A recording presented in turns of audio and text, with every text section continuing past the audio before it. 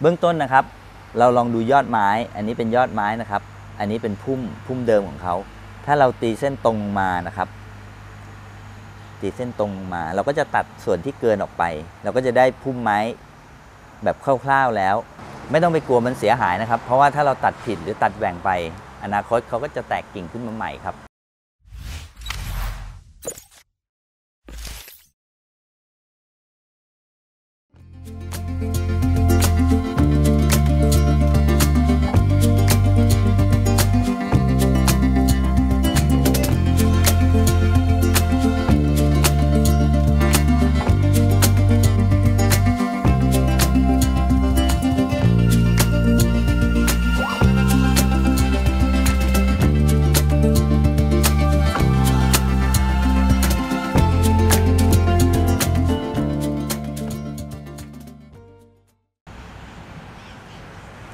วัสดีครับ พบกับบอนไซสเตชันวันนี้อยู่ในสถานีมือใหม่ป้ายแดงนะครับ มีลูกค้าซื้อบอนไซต้นเล็กๆไปนะครับ แล้วก็เกิดฟูขึ้นมา ด้วยความที่เริ่มเล่นใหม่ๆนะฮะก็ยังไม่กล้าตัดแต่ง ต้นตัวอย่างในวันนี้เป็นต้นโมกเวียดนามนะครับ ต้นโมกเวียดนามต้นนี้นะครับ เป็นไม้ที่มาจากกิ่งตอนนะครับแล้วเราทำเป็นบอนไซ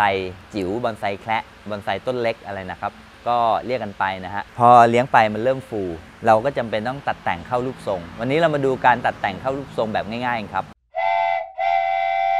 ต้นไม้นะครับเมื่อเราสร้างจบแล้วหรือเลี้ยงเป็นฟอร์มแล้วนะครับ ประมาณเดือน 2 เดือนเขาก็จะแตกกิ่งขึ้นมาอีก เราก็จำเป็นต้องตัดแต่งกิ่ง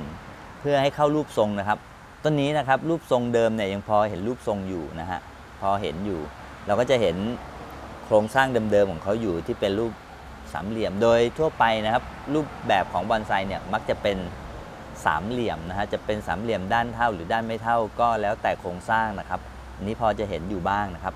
อันนี้เวลาเราตัดแต่งเนี่ยนะครับอย่างแรกนะครับ ที่เราตัดแต่งเนี่ยผมเชื่อว่ามือใหม่หลาย ๆ ท่านเนี่ยพอเราเริ่มเล่นใหม่ ๆ เนี่ยจะไม่ค่อยกล้าตัดแต่งเพราะกลัวต้นไม้จะแหว่งนะครับอย่างแรกเลยนะครับ ไม่ต้องไปกลัวมันแหว่งนะครับ เพราะผมเชื่อว่าหลาย ๆ ท่านคงไม่ตัดเข้าไปลึกมากนะครับ เราก็จะตัดเล็มๆไปปลายทรงนะครับ คือการตัดแต่งเนี่ยเขาจะมีอยู่ 3 อย่างนะครับ ก็คือการเล็มการซอยแล้วก็การย้อน แต่ว่าเลี้ยงไม้เป็นพุ่มเป็นทรงแบบนี้แล้วเนี่ยเราจะใช้แค่ 2 วิธีก็คือการเล็มนะครับ การเล็มก็คือตัดออกนิดหน่อยนะครับ ตัดออกนิดๆพอคุมทรงไว้นะครับ การซอยเนี่ยจะตัดเข้ามาลึกหน่อยนะครับ เอาเข้าใจอธิบายง่าย ๆ ก่อนนะครับว่า สมมติว่าการเล็มก็อาจจะตัดออก 1 คู่ตาหรือ 2 คู่ตานะครับ การซอยเนี่ยอาจจะเยอะกว่าหน่อยนะฮะอาจจะเข้ามา 3 คู่ตา 4 คู่ตาให้ไม้เป็นทรงครับคู่ตาหมายถึงว่าไม้โม่งนี่เป็นไม้ตาคู่นะครับ คือใบออกตรงกัน 2 ใบครับเมื่อเราตัดออกไป ไม่ว่าคุณจะตัดตรงไหนก็แล้วแต่นะครับ พอคุณตัดปลายออกไปเนี่ยเขาจะแตกกิ่งออกมาให้เราอีก 2 กิ่ง เพราะฉะนั้นการตัดแต่งเนี่ยนอกจากทำให้พุ่มโปร่งแล้ว แสงแดดเข้าทั่วถึงแล้ว ยังทำให้ไม้เนี่ยเข้ารูปทรงได้นะครับ แล้วก็ควบคุมการเจริญเติบโตของเขาครับเบื้องต้นนะครับ เราลองดูยอดไม้ อันนี้เป็นยอดไม้นะครับ อันนี้เป็นพุ่มพุ่มเดิมของเขา ถ้าเราตีเส้นตรงมานะครับ ตีเส้นตรงมา เราก็จะตัดส่วนที่เกินออกไป เราก็จะได้พุ่มไม้แบบคร่าวๆแล้ว แต่ผมไม่ได้หมายความว่าเราต้องเอา ไม้บรรทัดหรืออะไรมาวัดทุกครั้งนะครับ เพียงแต่ว่าในระดับแนวสายตาของเรา ส่วนที่มันเกินออกไปเนี่ยเราก็ตัดออกนะครับ อันนี้เป็นเป็นตัวอย่างการทำให้ดูนะครับ ไม่ได้หมายความว่าต้องใช้ไม้บรรทัดนะครับเพียงแต่ว่าให้เข้าใจแบบง่าย ๆ คือมีแนวมุมมองอย่างนี้นะครับ อันนี้พุ่มบริเวณนี้นะครับ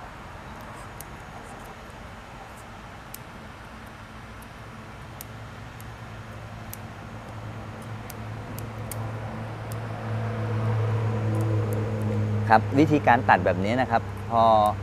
เราเรามุมมองเนี่ยส่วนไหนที่เกินเราตัดออกไป ไม้มันจะไม่แหว่งแล้วเราจะได้เห็นแบบคร่าวๆนะครับ อันเนี้ยพอเราทำบ่อยๆนะครับ เราจะมองเห็นไปเองนะครับ โดยที่เราไม่จำเป็นต้องมาใช้ไม้บรรทัดนะฮะอันนี้ผมทำเป็นตัวอย่างให้ดูเพื่อเพื่อความเข้าใจนะครับ เราก็ใช้แนวสายตาหรือแนวของไม้บรรทัดเนี่ยรอบต้นนะฮะ พุ่งเข้าไปหายอด อันนี้เราก็ตัดออก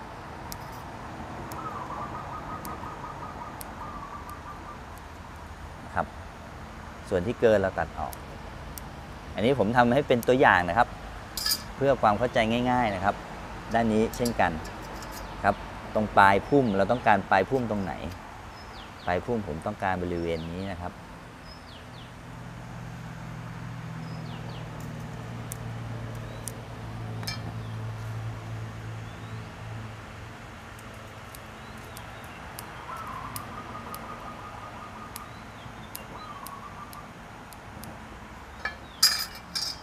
ผมพยายามจะหาวิธีที่ให้เข้าใจได้ง่ายนะครับ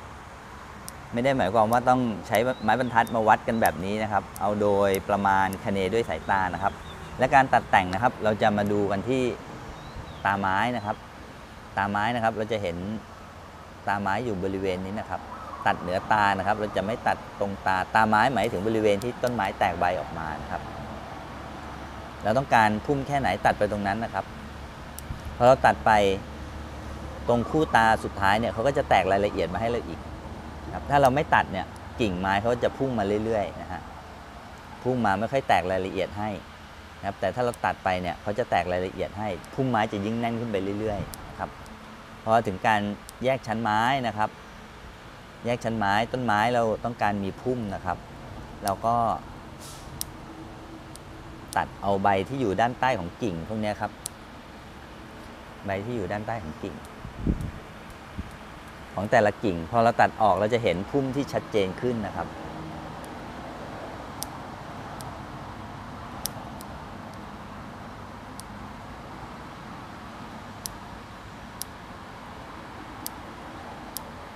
ครับเราก็จะได้พุ่มของต้นไม้แบบง่ายๆแล้วนะครับ แยกชั้นก็ตัดหรือใช้มือลิดก็ได้นะครับ การตัดแต่งพวกนี้นะครับ เมื่อเราตัดแต่งไปแล้วเนี่ยเราไม่ได้ทำอะไรเกี่ยวกับลากเกี่ยวกับระบบดิน หรือทำให้ต้นไม้เอ่อระบบเกี่ยวกับระบบรากของเขาก็นำออกแดดหรือไปวางในที่ที่เราเคยเลี้ยงได้ตามปกตินะครับนี่ฮะใบที่ออกมาด้านใต้นะครับ เราออก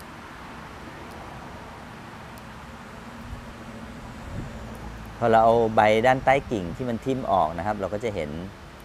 พุ่มของต้นไม้นี่ชัดเจนขึ้นนะครับ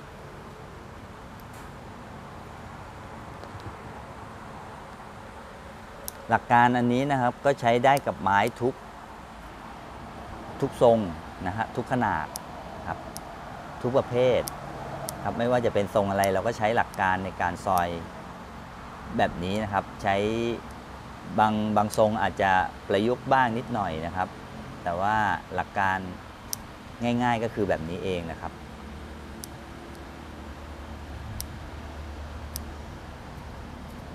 ครับ เราก็จะเห็นพุ่มของต้นไม้แบบคร่าวๆเลยนะครับ การยิ่งตัดนะครับจะทำให้ต้นไม้เนี่ยยิ่งมีพุ่มแน่นขึ้นนะพอมีพุ่มแน่นขึ้นก็แสดงถึง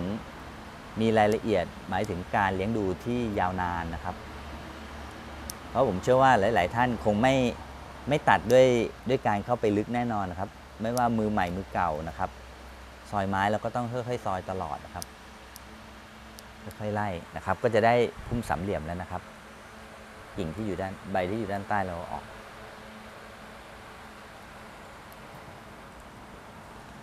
กิ่งเล็กๆน้อยๆที่ติดตามลำต้นที่ไม่ใช่กิ่งแล้วนะครับก็เอาออก ต้นก็จะดูโปร่งขึ้นนะครับ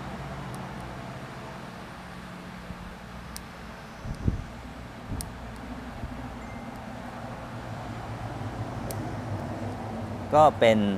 การทำไม้แบบง่าย ๆนะครับนะฮะเล็กๆน้อยๆพวกนี้นะครับเป็นพื้นฐานนะครับที่เราจะไปทำต้นใหญ่หรือฝึกความชำนาญได้นะครับสำหรับท่านที่เป็นมือใหม่ที่ลองเริ่มเลี้ยงต้นไม้นะครับ ลองค่อยๆ ฝึกทำดูนะครับ พอเราซอยบ่อยๆ หรือเราทำบ่อยๆเนี่ยเราจะมีความมั่นใจกล้าทำมากขึ้นนะครับ ก็จะทำให้ เราเลี้ยงบอนไซได้อย่างมีความสุขนะครับ คือทำได้นะครับ ถ้าทำไม่ได้หรือไม่กล้าทำไม่กล้าลงมือนะครับ มันก็จะไม้ก็จะไม่ค่อยเป็นรูปเป็นทรงครับ ไม่ต้องไปกลัวมันเสียหายนะครับ เพราะว่าถ้าเราตัดผิดหรือตัดแหว่งไป อนาคตเขาก็จะแตกกิ่งขึ้นมาใหม่ครับเพียงแต่ว่าเราใช้เวลารออีกนิดนึงนะครับ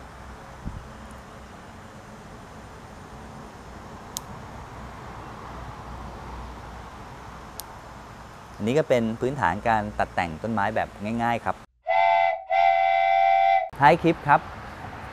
ผมได้ข้อคิดจากการเลี้ยงบอนไซนะครับ ถึงแม้ว่ามันจะเป็นต้นไม้ต้นเล็ก ๆ นะครับ แล้วเราสามารถทำได้สำเร็จในสิ่งที่เราไม่เคยทำหรือเราเคยทำอยู่แล้ว แล้วเราทำได้ออกมาเป็นรูปธรรม เป็นผลงานออกมาอย่างชัดเจนนะครับ แม้ว่ามันจะเป็นความสำเร็จเล็ก ๆ น้อยๆนะครับแต่มันก็สามารถสร้างความภาคภูมิใจให้กับผู้สร้างได้นะครับ อันนี้เราให้กำลังใจตัวเราเองได้นะครับ ความสำเร็จแม้เล็กน้อย มันก็สร้างความภูมิใจให้เราได้ครับ เมื่อความเล็กน้อยนั้น เราทำสำเร็จหลาย ๆ ครั้ง ก็อาจจะสร้างความภูมิใจที่ยิ่งใหญ่ได้ครับ สวัสดีครับ ทุกท่านสามารถสนับสนุนช่องของเรา โดยสมัครสมาชิกเริ่มต้นเพียงเดือนละ 35 บาท ท่านจะได้สมัครสมาชิก f r e s h i Member สิ่งที่ท่านจะได้รับคือป้ายชื่อผู้สนับสนุนช่อง Bonsai Station